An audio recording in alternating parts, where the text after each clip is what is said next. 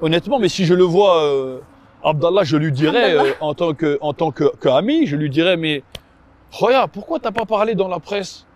Pourquoi t'as pas dit que, que moi, j'ai toujours euh, fait mon rôle, moi? Oui. Parce que les gens, même une histoire que je suis pas dedans, moi, les gens, ils ont dit, c'est de ma faute. Oui. Parce que c'est pas un capitaine, il a pas, il a pas géré le problème. Mais, mais quand il a décidé de quitter le, le stage, c'était quoi la, la réaction du coach? De, Non, le coach, euh, président, il nous a dit que le coach, il- le, président, il a dit au coach qu'il va partir. Oui.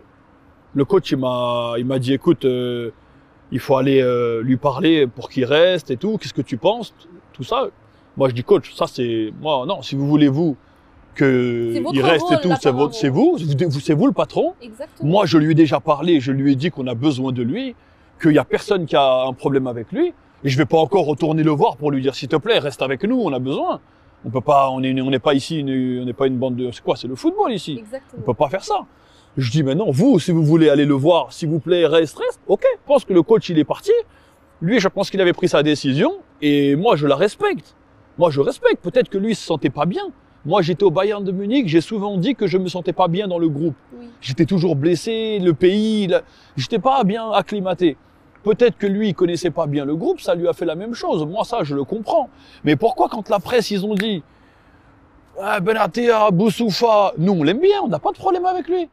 Tu vois, j'aurais aimé, ils me disent, ah, top, top. Non, non, non, non, non. C'est pas, pas Benatia, voilà, c'est pas mon Boussoufa, problème, c'est pas- c'était ça, ça, ça.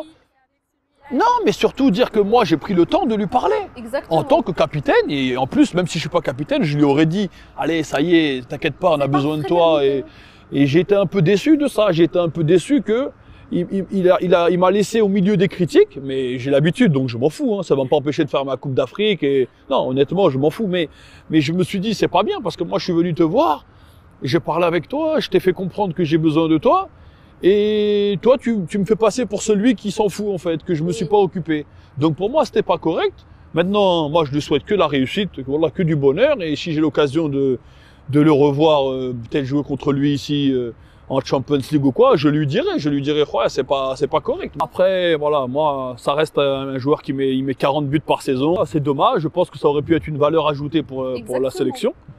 Maintenant, peut-être qu'il reviendra, il expliquera, je sais pas du tout. En tout cas, moi, je vous dis, je, si j'avais un problème, pour ceux qui me connaissent un peu, crois-moi, je l'aurais dit tout de suite. Là, j'ai le problème avec lui, c'était ça, ça. Oui, Moi, j'ai pas de problème avec lui et j'ai jamais eu un souci avec lui. Et donc, euh, voilà.